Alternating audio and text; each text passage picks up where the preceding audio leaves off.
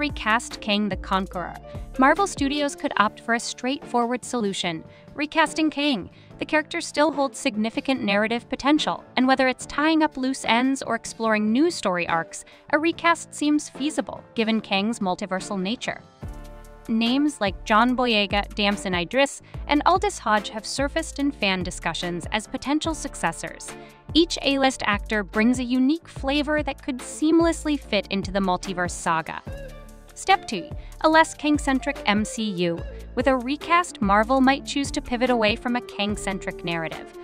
Earlier plans revolved around Jonathan Majors as the linchpin, but with his absence, a strategic shift could be in order. Marvel's strategy may involve a broader audit of Phase 5 and Phase 6, reevaluating how Kang fits into the larger picture.